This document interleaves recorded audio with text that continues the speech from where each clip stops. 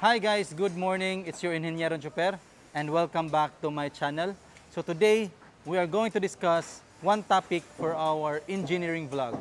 And ngayon, andito tayo sa stock ng mga rebars. And as you can see, merong mga different colors sa dulo. Ito, katulad nito, nakikita natin na may green. Ito, red siya, na malaki yung diameter. At ito, red, pero maliit yung diameter. So I'm going to share with you kung anong ibig sabihin ng mga kulay na yan. For your information, merong iba't ibang kulay ang mga bakal. Hindi lang red at saka green. Alam ko, nakikita nyo to when you are traveling and etong mga bakal na to trinatansit on the road. So meron kayong makikitang kulay white, yellow, red, green. Itong four colors, ito yung kadalasan na nakikita natin. And later, I'm going to share with you ano pa yung ibang kulay dun sa kabilang stock ng mga Raybars. To tell you guys, itong mga kulay na to, ang ibig sabihin yan is yung grado ng bakal. Hindi lahat ng bakal ay pareho. Just like what I said, meron siyang different grades. So para sa white is grade 33, and yellow is grade 40, and green is grade 60. So itong tatlong grade, ito yung standard na ginagamit para sa mga malalaking construction. Itong red, guys, ang ibig sabihin yan is weldable. Hindi lahat ng mga bakal ay pwedeng i-weld. What I'm trying to say is, pwede siyang i-weld pero hindi siya dapat wini-weld. Okay? Merong certain rebars na pwede siyang i-weld during the construction. Kasi magkaiba yung properties ng bakal na weldable at saka non-weldable. Okay? So, malalaman mo siya na weldable siya kung may kulay pula. Ito, pag green itong kabilang side, ibig sabihin grade 60. And then pag tinagnan mo yung likod or yung the other end of the bar, pag pula, ibig sabihin weldable siya. Pero pag nakikita mo is green dito sa kabilang dulo and then green din sa kabilang dulo, ibig sabihin yan hindi siya weldable. Okay? So ngayon guys, merong different diameters ang mga bakal. So pinakamaliit is 10, then kasunod 12, kasunod 16, kasunod 20, 25, 28, 32, 36, 40, at saka 50. Yung huling dalawa, yung 40 at saka 50, is special order. So, the available in the market na standard is from 10 to 36.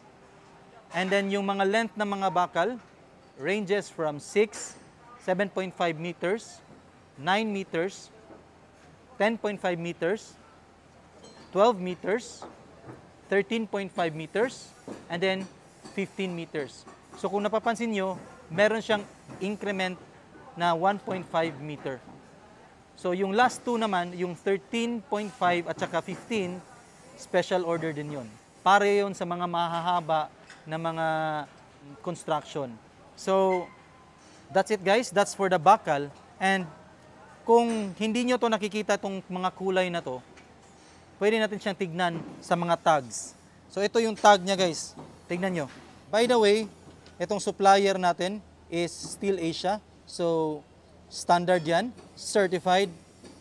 Ito guys, ito yung grade niya. 420 W slash quenched and tempered. So itong quenched and tempered is ito yung procedure ng pagcast ng mga bakal.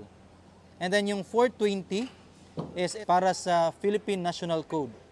Ito yung equivalent ng grade 60 sa ASTM.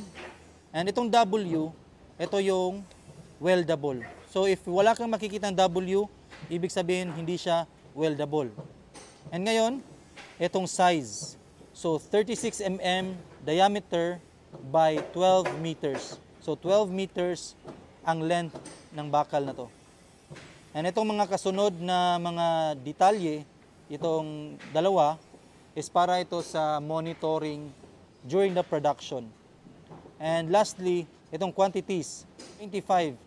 So, 25 pieces per bundle. So, ito yung bundle niya guys. 25 pieces to. Alright?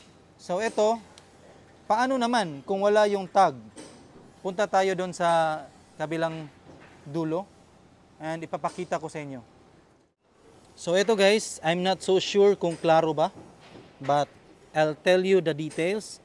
So ito, kung nakikita nyo to, ito yung label na nasa mismong bakal. So, merong SA4, dalawang groove, then 36, dalawang groove, then number 4, dalawang groove, then W, dalawang groove, then T. So, ibig sabihin ng mga detalye na to guys is ito for the supplier. So, SA stands for Steel Asia. And then number 4 is para sa code nila kung saang planta ito ginawa. And then after may dalawang groove, then makikita nyo 36. Ibig sabihin yan 36 mm yung diameter ng bakal. And then dalawang groove, number 4. So itong number 4 is para sa grade ng bakal. So para sa standards, nagsisimula yung grade sa number 2 So, number 2 is para sa grade 33. Number 3 is para sa grade 40. And then number 4 para sa grade 60. And then another two groups, then makikita mo itong W, ibig sabihin weldable siya. And then ito, itong letter T is yung tempered, yung quench and tempered. So ayan guys, kung makikita nyo, merong green na maliit, So, yung tag niya is 20 mm by 9 meters. Grade 60 din siya, na weldable, kasi green, and then yung kabilang dulo is red. So, ayan guys, punta tayo sa kabilang stock at saka ipapakita ko sa inyo kung ano yung ibang kulay ng mga bakal. And let's see kung tama ba yung sinasabi ko kanina regarding the color coding for the grades ng mga bakal. Eto guys, ito yung pangalawang stock ng mga bakal. Kung nakikita nyo, all red yan. So punta tayo sa kabilang side. Ayan, so ito siya. Yung kabilang side may green at saka may yellow. So etong yellow is grade 40. So 280 weldable. 280 megapascal yung conversion niya sa Philippine National Standards. So, 12 mm by 10.5 meters. And ito, 250 pieces yung bundle niya. So, ito, yellow. Yellow siya. Katulad ng iba dyan. Ito, yellow. So, ayan guys. Yellow para sa grade 40. So, tignan natin yung nasa tagging ng bakal mismo. So, ito, SA4, 12, number 3. So yung number 2 is grade 33, number 3 is grade 40, number 4 is grade 60. So eto guys, grade 40 and then weldable. So wala siyang T, so ibig sabihin hindi siya quenched and tempered. So ayan, punta tayo sa kabila guys. So ayan guys, andito tayo sa another stockpile ng mga bakal. So ito yung sinasabi ko, na ibang kulay. Ito siya guys. Ito. May kulay blue at saka red. Ito given na red is weldable. Pero how about itong kulay blue? So itong kulay blue is grade 80. Ayan. So 550 megapascal yung equivalent niya. In the ASTM, it's grade 80. Ito guys, oh, 12 mm by 6 meters. And then yung isang bundle niya is 250 pieces. So titignan natin yung mga groove dito sa bakal. Medyo kinakalawang na kasi nga exposed siya sa weather. Isa sa mga nagkukos ng kalawang is exposed siya sa weather. Ulan, tapos iinit na naman. So, nawawash out kasi yung galvanized na coating niya tignan natin yung tag niya sa bakal mismo. Eto. Ewan ko kung klaro ba. Pero ito nakasulat SA4 then tatlong groove then number 12. Then another group, number 6. Another two groups, W. Another two groups, letter T. So eto, merong Steel Asia number 4, yung coding ng planta nila. And then 12 is yung 12 mm. Then 6 is yung code ng grade. So yung sinasabi ko kanina, number 2 is for grade 33, number 3 is for grade 40, number 4 is for grade 60. Ito, tumalon siya to 6. So merong number 5 na code which is grade 75. Ayan. So next, the W stands for wieldable and then T is for quenched and tempered. So ayan guys, thank you for watching this video. I hope meron kayong natutunan sa video na to. So that's it for the color codes of the ray na nakikita natin sa daan or kahit saan na may kulay yung dulo ng mga bakal. Again, white is for the grade 33, yellow for the grade 40, green for the grade 60, then orange para sa grade 75, and then blue para sa grade 80.